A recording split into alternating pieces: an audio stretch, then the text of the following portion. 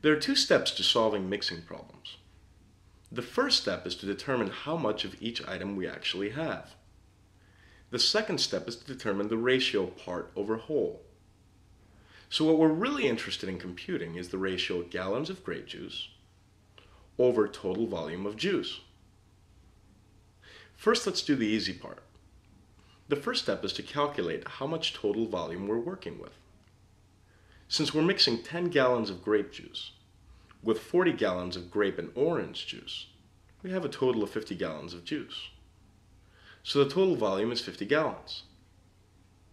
The next step is to calculate how much grape juice we have. The second mixture is 10% grape juice, so it contributes 4 gallons of grape juice to the mixture. We also have another 10 gallons of grape juice being added to the mix. So in total, we have 14 gallons of grape juice. We're now ready to compute the percentage.